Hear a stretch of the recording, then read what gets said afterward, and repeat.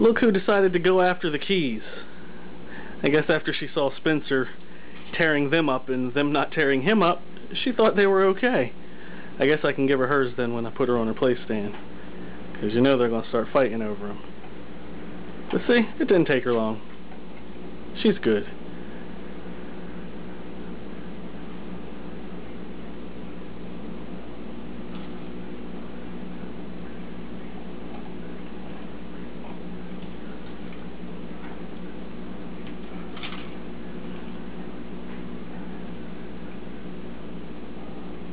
Hi, Spencer. What's up, buddy? What's up, sir? What's up, sir?